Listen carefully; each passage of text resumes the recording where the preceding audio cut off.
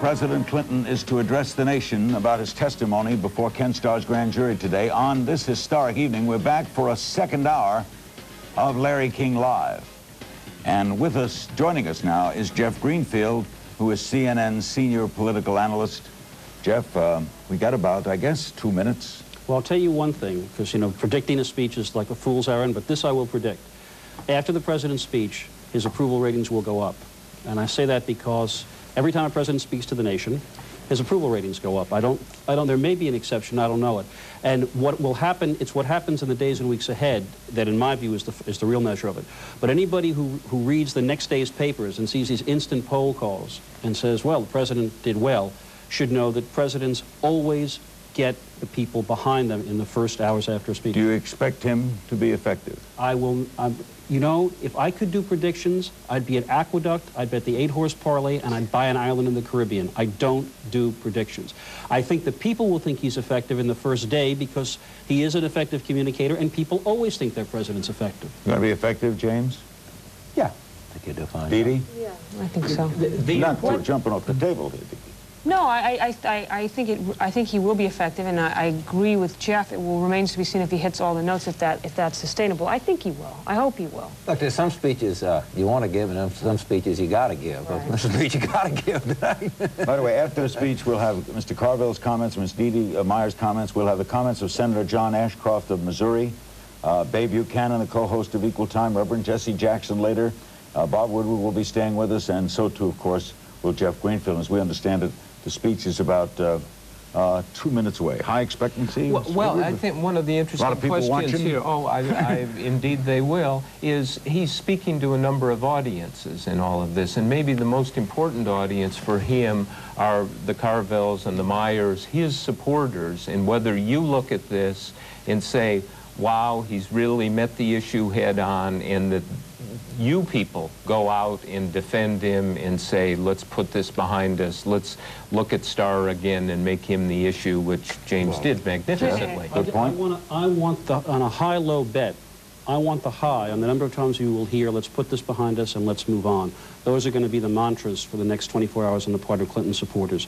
Uh, the question is whether the public ultimately says yeah, or they say, you know, we're coming to a second thought about what he did. We're not going to know that tomorrow morning. I think we're not going to know that for, for days and weeks. We may not know it till Ken Starr gives his report. Is there any, any winner in this? Oh, no. Everybody's loser, right? Media loser? Absolutely. The only thing I, I- I would say is, is that public opinion on this thing has been pretty fixed since January. And it hasn't been a lot of volatility out there. And, and people have said right after it came out, we got to wait and see, we got to wait and see.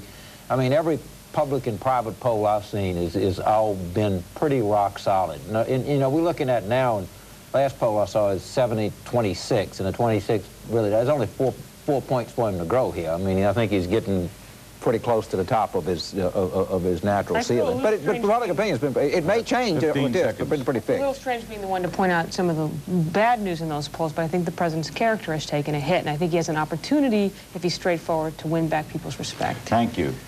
Uh, we are about uh, 15 seconds away from the address of his presidency. We've taken out of the White House and the President of the United States.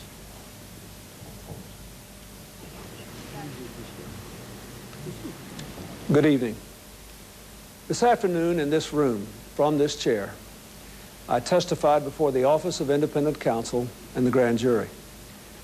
I answered their questions truthfully, including questions about my private life, questions no American citizen would ever want to answer.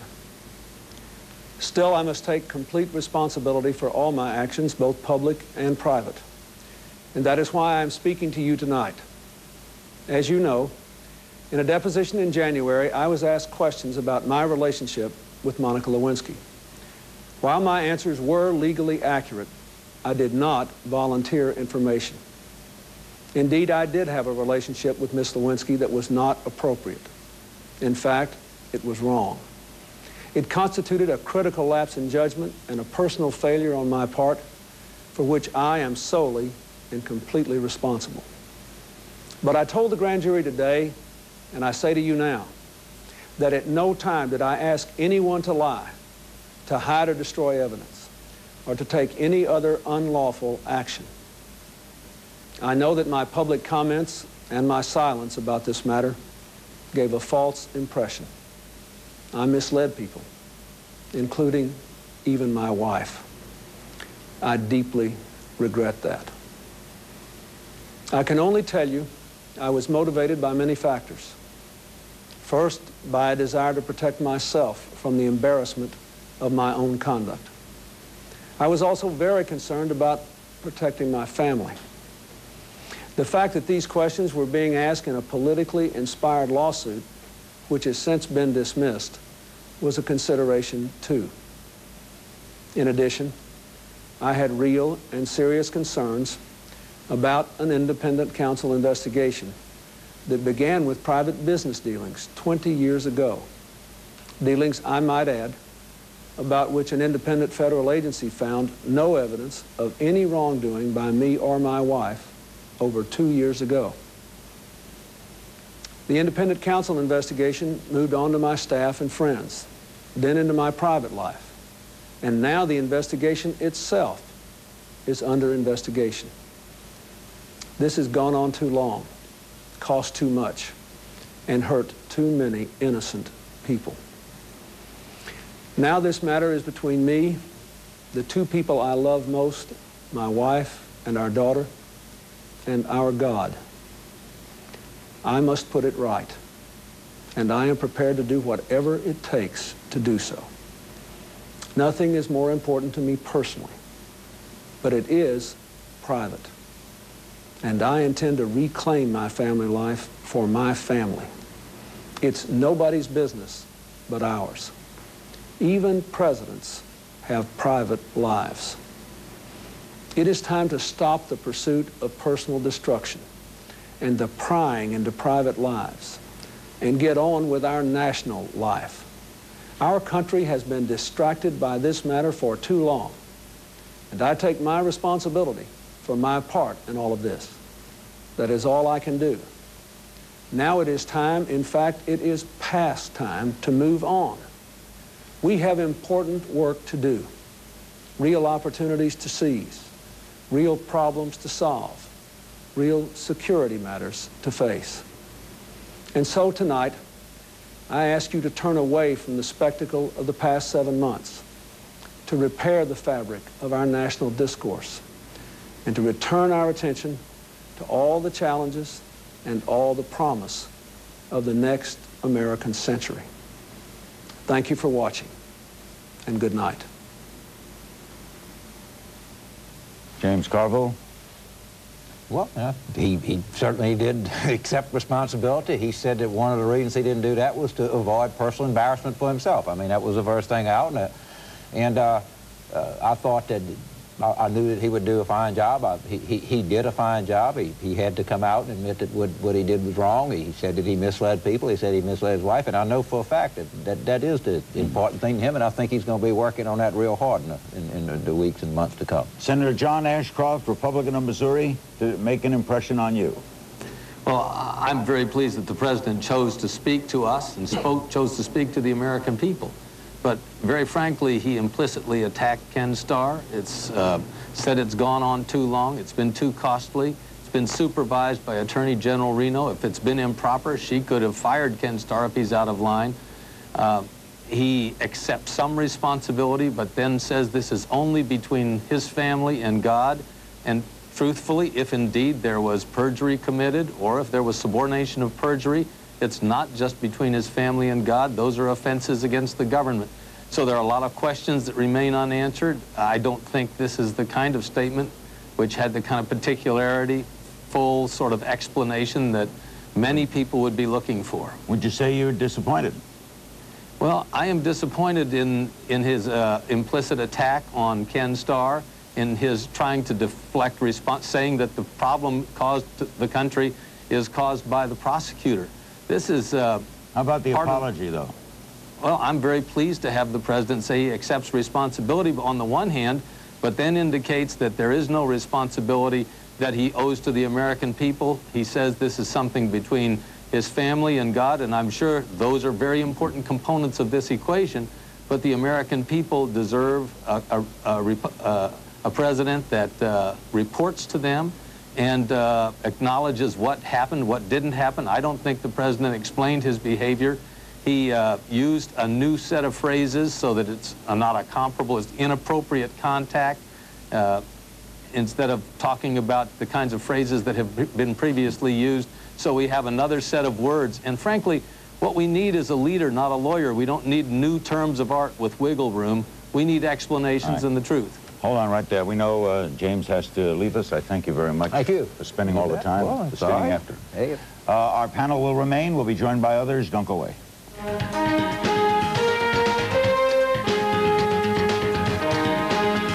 The president did what he had to do. Uh, he accepted responsibility. He apologized to the American public. He acknowledged uh, having misled the American public, and including his wife. And I think that uh, right now, we all have to respect his wish that this is a personal matter now. It's a family matter. And frankly, I am shocked that the independent counsel, uh, as we learned earlier, would go to the specifics of his sexual contact with Ms. Lewinsky.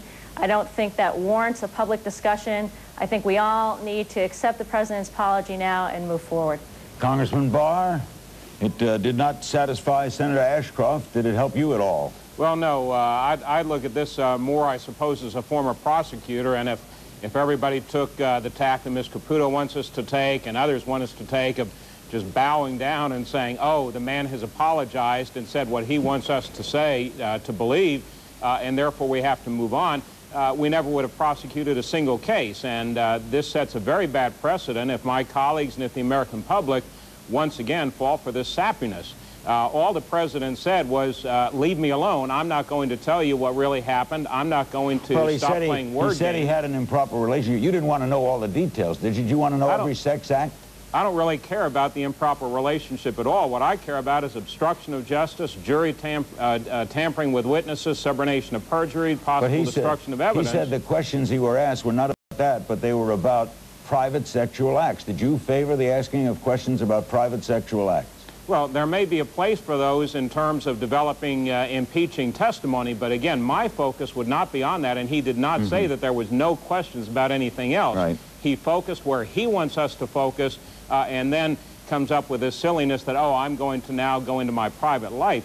The fact of the matter is, we must wait to see what Mr. Starr uh, presents to us to see whether there is, in fact, as I suspect there is, a pattern of obstruction of justice. And nobody's touched on that at all. The president said, I didn't ask anybody to lie. Well, of course he didn't. But he did things through words and actions that have the same effect. Dee Dee Myers, was that speech a little disappointing?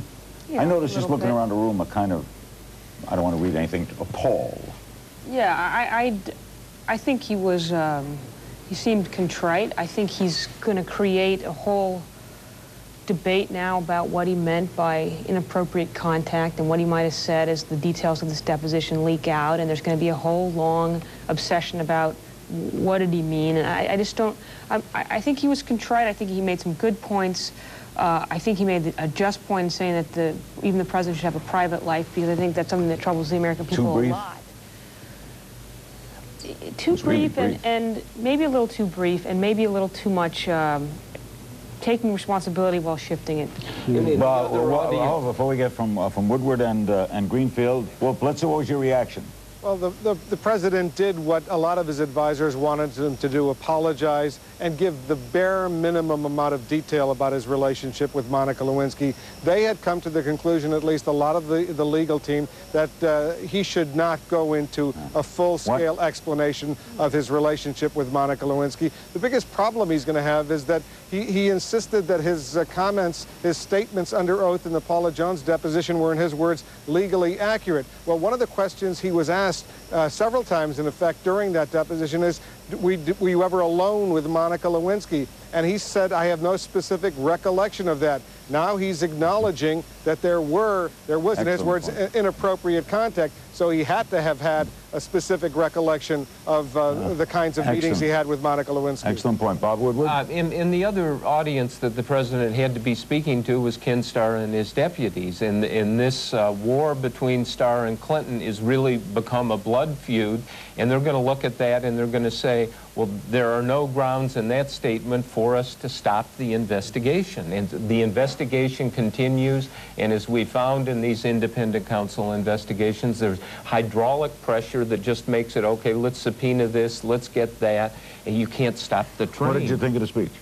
Well, I think that it's, I want to hear what Leon Panetta has to We, say. We, we, think we're trying to get him back. We lost him somewhere in the did. shuffle. I'm not Leon Panetta, I'm sorry. But try to look like him so we can get him. You want to look in your No, eyes. but I, but I, you know, the feeling that I think you detected, and I think maybe with Dee Dee, uh, I shouldn't speak for her, but I'm a journalist, so I do. Go ahead. Is that the the, wor the, the words were right. I mean, at the, certainly at the start, there were there Looked wasn't fudging, but but I don't want to talk about cosmetics because the speech also at root was a political argument. I mean. And Dee is exactly right. Yes, I take responsibility, but now let me tell you why the work of the Independent Counsel. And by the way, the speech reflects what most Americans now think. My own feeling was that he was he was saying, if I can do the subtext, okay, I'm giving you the public what you need, which is my contrition, and I believe he feels that. I mean, what human being wouldn't? But then to turn around and say, and that's why we have to rally around the idea of ending this inquiry. Were you saying you were not impressed? Well, I, you know what? Was I- it a major apology to you? what it was was the most unusual and difficult speech any public figure has ever had to give. And I don't, I, by the way, I think to judge this on a, on a scale of, you know, rhetoric eight, uh, cos Yeah. cosmetology six, in this context is almost offensive, given what he was had, what he had to talk But about. But we have to get in, uh, wh- what is the world he's dealing with? And the world he's dealing with, as we reported Sunday, is the family. And he said in the speech, I want to put it right with the family. That's paramount in his mind. That's the biggest problem he's got. I, a lovely lady has uh, been added to the panel. We shall get her thoughts and we're taking some more phone calls. You'll meet other people as well. Bay Buchanan joins us right after this.